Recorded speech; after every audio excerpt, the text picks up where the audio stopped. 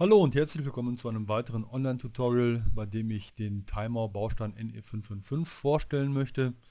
Der Timer Baustein NE555 sieht so aus, hat acht Beine, ne, vier sieht man davon hier, vier sind auf der anderen Seite. Der Timer Baustein an sich hat erstmal so keine Funktionalität, das heißt er funktioniert nicht dadurch, dass man ihn einfach an eine Spannungsquelle anschließt, sondern man muss ihn von außen beschalten.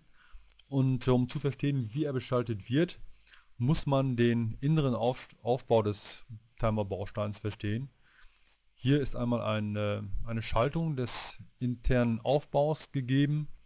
Äh, ganz zentral ist hier das Flip-Flop, ein RS-Flip-Flop, mit dem äh, Zustände, die am Anfang eingegeben werden, am Ausgang gespeichert werden können.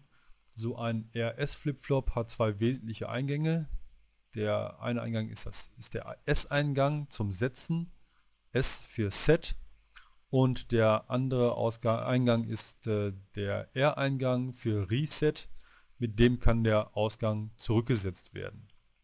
Die Besonderheit bei diesem RS Flip-Flop im NE555 ist ähm, die, dass ähm, der Ausgang ähm, noch einmal negiert wird.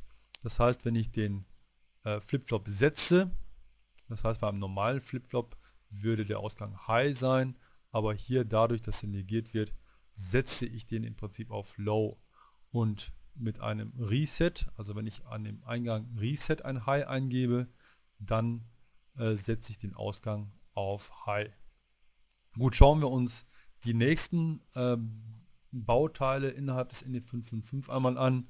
Der Ausgang des Flipflops wird einfach auf einen Verstärker gesetzt, auf einen invertierenden Verstärker, der also dieses Signal noch einmal invertiert und dann hier an dem Anschluss Nummer 3 nach außen rausgibt. Unter anderem wird der Ausgang aber auch nochmal verwendet, um hier ein, ein, einen Transistor zu steuern. Also hier hat man die Möglichkeit, den Pin Nummer 7 entweder mit Masse zu verbinden oder, falls der Transistor sperren sollte, den entsprechend offen zu lassen. So, am Eingang des Flipflops befinden sich die Ausgänge zweier Komparatoren. Komparatoren vergleichen im Prinzip die beiden Eingangsspannungen der Komparatoren.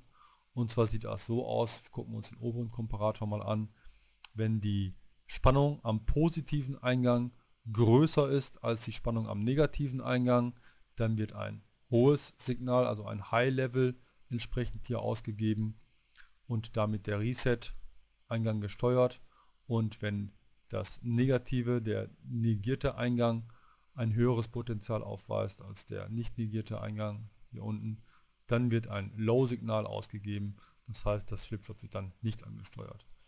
Hier entsprechend genauso, wobei man äh, darauf achten muss, dass hier die ähm, Eingänge vertauscht sind, das heißt der nicht negierte Eingang ist hier oben und da entsprechend unten.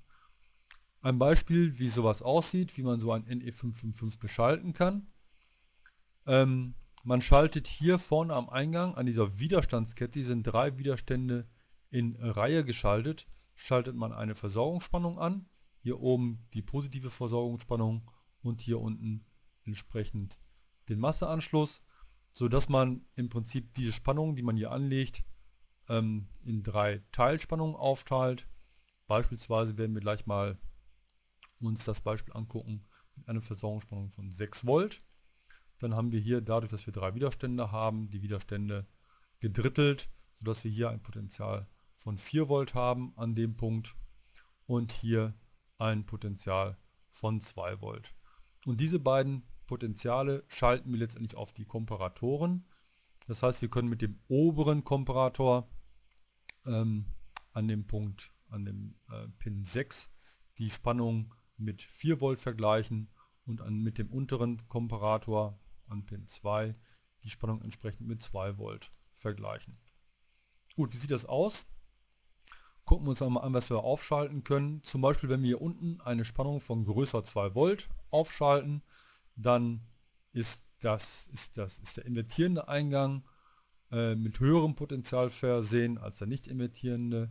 Das heißt, hier an dem invertierenden ähm, Eingang haben wir eine höhere Spannung als hier oben, als diese 2 Volt. Das heißt, wir schalten den, Aufgang, den Ausgang auf Low und ähm, haben somit keine Auswirkung auf den Flip-Flop. Ist also nicht ganz so interessant. Interessanter wird es, wenn die Spannung kleiner als 2 Volt wird.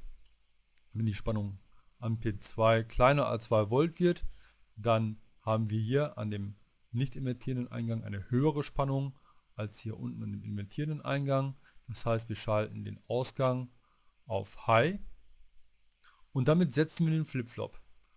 Und zwar dadurch, dass wir noch das Signal invertieren, setzen wir den Flip-Flop im Ausgang auf Low.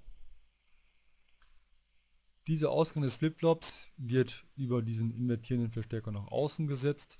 Das heißt, wir haben hier außen ein High-Potential und außerdem wird dieses Signal noch auf die Basis des Transistors gelegt und der Transistor sperrt dadurch. Das heißt, der Transistor sperrt und der Pin 7 hängt sozusagen in der Luft, ist also nicht mit Masse verbunden. Okay, schauen wir uns das Beispiel mal für den oberen Komparator an. Wenn wir hier eine Spannung von kleiner 4 Volt haben, dann ähm, ist hier am nicht invertierenden Eingang eine kleinere Spannung als 4 Volt. Das heißt, wir haben hier am Ausgang ein Low-Signal. Das heißt, hier wird nichts zurückgesetzt an dem Flip-Flop. Das heißt, der interessante Fall ist, wenn wir eine Spannung von U gleich äh, größer als 4 Volt haben. Das heißt, wir haben hier am Ausgang ein High-Signal. Wir setzen das Flip-Flop also zurück. Dadurch, dass wir hier invertieren, setzen wir im Prinzip den Ausgang auf High. Dieser Ausgang wird nach außen fortgeführt über den invertierenden Verstärker. Das heißt, wir haben hier ein Potential Low. Und dieses Potential wird letztendlich an die Basis des Transistors gelegt. Die Basis, äh, Basis-Emitter-Spannung ist also so groß, dass der Transistor leitet und legt entsprechend diesen Pin 7 auf Masse. Hier wird also entsprechend durchgeschaltet.